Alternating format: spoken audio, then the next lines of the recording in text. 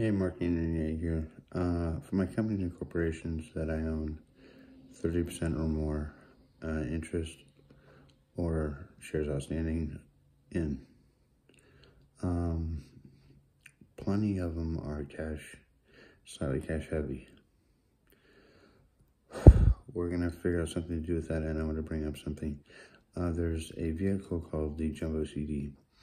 Banks don't like issuing them because they've got a six mat date.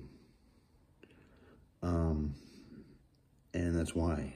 But they're usually issued, well, they're always issued in $50,000 denominations or more.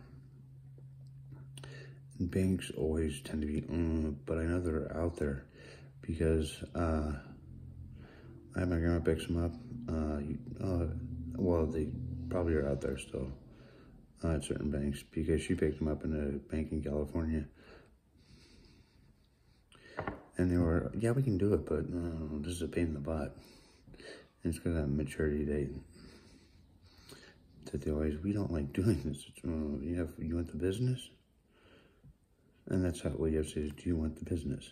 We're going to bring you, I don't know, a couple million dollars, hopefully comes to mind. And that's lowballing it.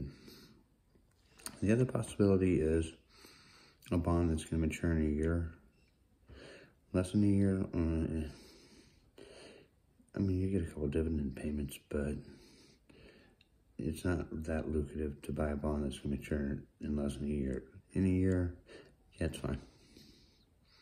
So that would be my suggestion is invest in those. And that's only who the investment advice is going out to. And securing capital so that we're not a takeover target um, is to my companies and corporations that I earn a percentage of. That's it. Just some, some, some suggestions. Because I know people see that and they think, bingo, I can make that money mine. I just take out the company, take over the company for a couple of months, and then I can just yank that money from them and put it in my bank account. Uh, it's corporate raiding, it's against the law. So for those who don't understand corporate raiding, that's why.